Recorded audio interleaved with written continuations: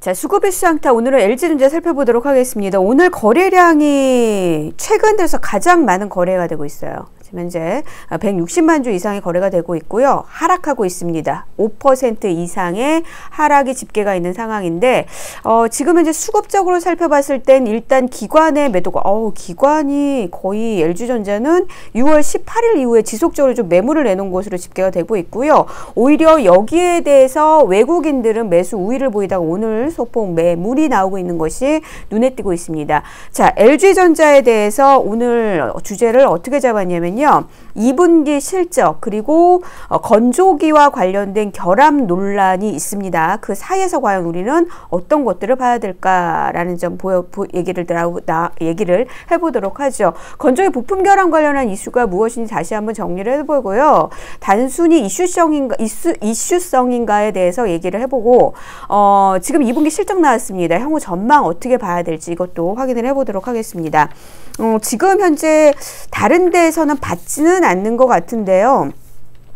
제가 좀 살펴봤습니다. 근데 네이버 밴드에 어, 이렇게 좀 주제가 있더라고. LG 건조기의 자동 컨덴서 문제점이라고 해서 어, 소비자들 중심으로 지금 현재 밴드가 형성이 됐습니다. 거기서 뭐 한 지 얼마 안 됐는데 거의 천명에 가까운 지금 회원이 모였고요. 그리고 어, 결함과 관련된 영상들이 100건이 넘게 올라왔다고 얘기를 하고 있습니다. 그리고 어, 지금 그 베스트샵이죠. LG전자 쪽에 베스트샵 쪽에서는 어, 지금 건조기 14kg와 18kg를 일단 어, 주문을 중지시키고 중단시키고 이건 이제 일부 관계, 관계자가 얘기를 했다고 하더라고요. 결함 여부를 계속 준비하고 있다라고 얘기를 했는데 한 블로그를 통해서 보이니까는 지금 14kg짜리에서 이 지금 자동 세척기 기능을 하고 있는 그 부분에 뭐 콘덴서에 굉장히 많이 지금 먼지가 끼어 있는 것이 영상, 그러니까 사진으로 계속 찍어서 보여주고 LG전자 쪽에서 와서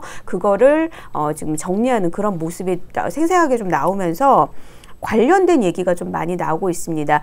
여기서 한 번 더 말씀을 드릴 게 뭐냐면 지금 현재 LG전자의 실적을 견인하는 것은 TV 쪽이 아닙니다. 아마 2분기에도 TV 쪽은 매우 부진했을 것으로 예상이 되고 있고요. 오히려 지금 가전 쪽에 실적을 이끌고 있는 것으로 나오고 있는데 여기에 중심이 되고 있는 게 지금은 가장 핫한 게 뭐 청정기도 있고 그렇지만 건조기잖아요. 그런 점에서 좀 예가 나왔다는 점에서 시장 심리가 좀 위축이 되고 있는 것으로 보입니다. 보입니다.